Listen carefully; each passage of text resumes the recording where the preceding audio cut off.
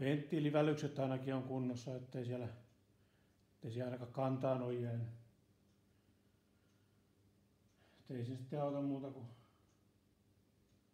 purkaa loppuun saakka. Ja